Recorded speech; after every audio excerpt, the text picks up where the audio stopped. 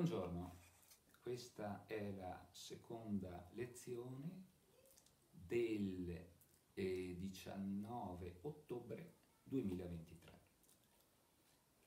e continuiamo a parlare dei beni rifugio. Questo manuale eh, questo manuale è fondamentale per difendersi da questo mondo in guerra, da questo stato eh, inefficiente, eh, corrotto. Eh, da questo fisco eh, più che ingiusto è parziale, ecco, parziale. Eh, accenno soltanto che nella manovra in corso di approvazione, vedremo che cosa dice l'Unione Europea su questo, è previsto che nel modello ISE non siano computati i buoni del tesoro sottoscritti dal, dalla persona. Ma se uno fa il modello ISE, eh, si dovrebbe pensare che non abbia da parte in nero tanti soldi da poter eh, sottoscrivere i buoni del tesoro. Perché dico questo? Perché dico che questo Stato è ingiusto, è violento contro i più deboli? Perché favorisce i ceti forti, favorisce gli evasori. Gli evasori, in base alle risultanze del fisco, si eh, annidano, ce ne sono anche di onesti, tra gli imprenditori, tra gli artigiani, tra i professionisti risulta dalle statistiche che la media dichiarata dagli idraulici è 12.000 euro, la media dichiarata dai tassisti è 16.000 euro, vado a spanne. E, e, e, non dico quello che dichiarano gli avvocati, che mi pare siamo sui 16-18.000 euro, ma stiamo scherzando. È evidente che questo Stato corpora- corporativo, perché difende le corporazioni, questo Stato eh, guidato da questo governo realizza il sistema fascista delle corporazioni. In questo Parlamento ci sono le corporazioni dei professionisti, della mafia, eh, dei gruppi di pressione i quali eleggono con un sistema che io spiego nei miei precedenti saggi, i loro rappresentanti. E questi rappre- naturalmente eleggono i rappresentanti dei sindacati. I sindacati non fanno l'interesse dei lavoratori, lo fanno anche, sì, ma soprattutto fanno il loro interesse all'autoconservazione e sindacati e partiti non hanno mai applicato non hanno mai fatto applicare il principio costituzionale per cui sindacati e partiti devono essere ispirati al principio democratico. Questo breve accenno è soltanto per dirvi che questa manovra non soltanto agevola, non soltanto agevola i calciatori, ma ditemi voi, crea un regime fiscale di favore per i calciatori, per gli sportivi, che già guadagnano abbastanza, mi pare. Eh, agevolano il nero, non colpiscono assolutamente l'evasione, non ci pensano nemmeno, ma perché? Perché la maggior parte dei parlamentari è stata eletta dai gruppi, grazie ai gruppi di pressione, ma se voi mettete insieme imprenditori, professionisti, eh, insomma tutti coloro che non pagano le tasse, e, e gli unici che pagano le tasse sono i lavoratori dipendenti. gli unici che pagano le tasse perché le devono pagare, potessero non lo farebbero. A questo Stato che dilapida, dilapida eh, per così dire, eh, le entrate, tant'è vero che il debito pubblico è 10 minuti. Il debito pubblico è a, a, alle stelle. A questo proposito integro quanto detto nella lezione precedente con queste novità. Nella lezione precedente ho spiegato che eh, il debito pubblico italiano è sotto osservazione, tant'è vero che vedremo a fine mese, questo mese, se Standard Poor's e le altre agenzie di rating classificheranno come merita il debito pubblico italiano uguale a spazzatura. Notate che il 18-10-23 i bot decennali americani hanno raggiunto il rendimento del 4,9 che non si vedeva da, da decenni. Ciò significa che gli investitori sono spinti a vendere le azioni, e questo spiega perché le borse stanno andando a picco, e a comprare obbligazioni sicure come sono quelle dello Stato americano.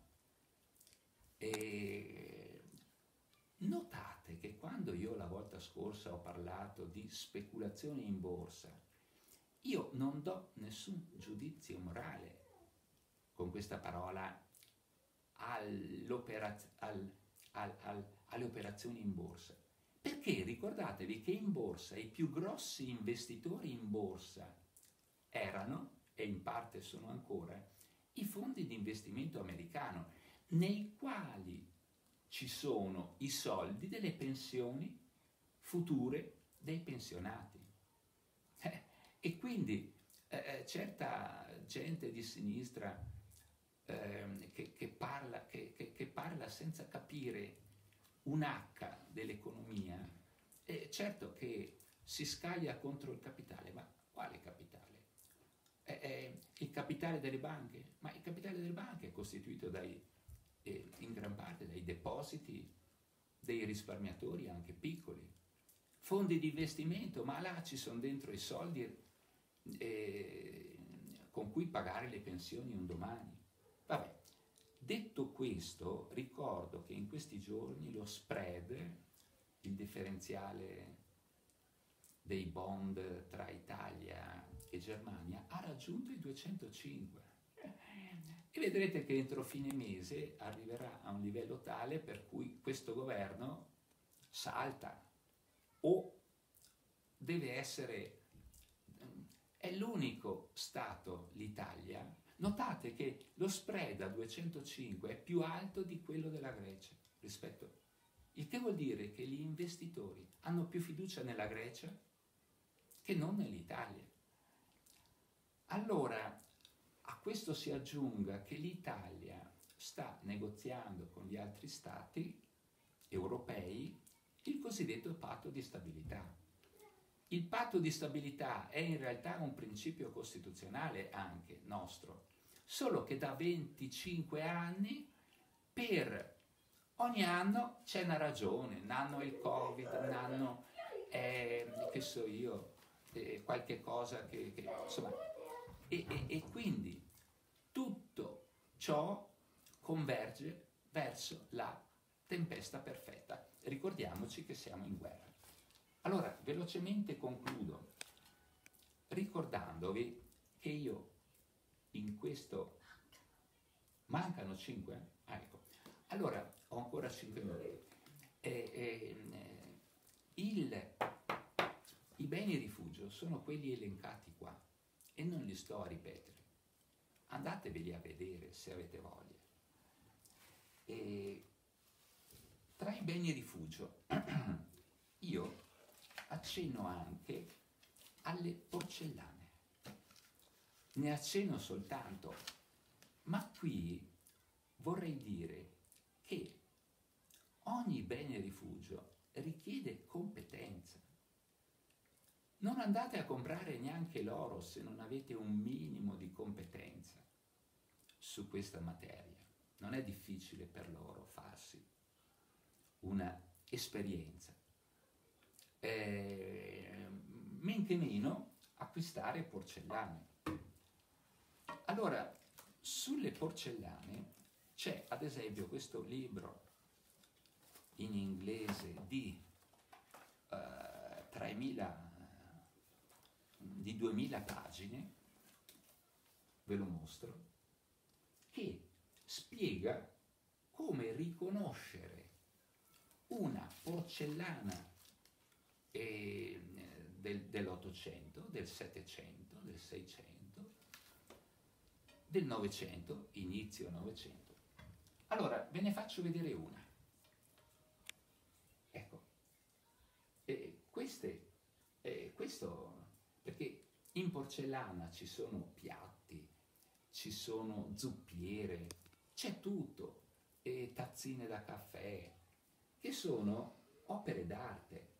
E, ad esempio questa è, è del marchio Norman e è del 1800. Uh, ehm, sono punzonate, sono punzonate, e, ma soprattutto chi, chi, chi, riuscirebbe oggi a fare una porcellana così, volendo imitarla? E come vedete, eh, sono dipinte a mano, eh, si usa anche l'oro, l'oro per fare le bordature, eccetera, eccetera.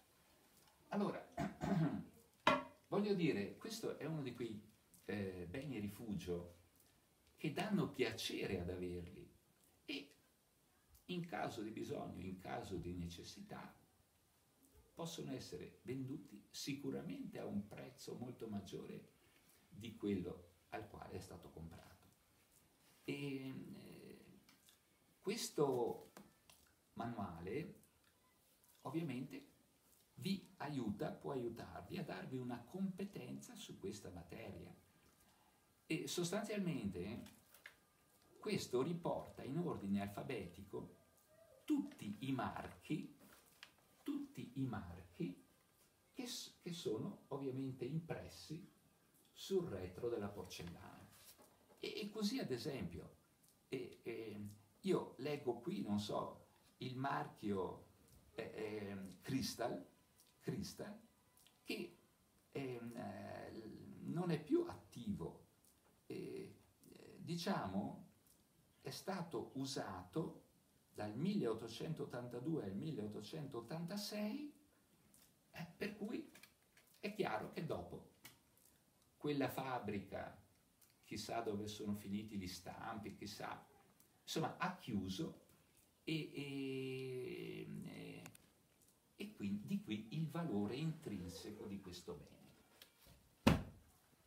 Io non metto nell'elenco, in questo elenco che qua faccio, è chiaro che io approfondisco qui i beni rifugio più importanti. Ne ho dimenticato uno, volutamente. Le armi.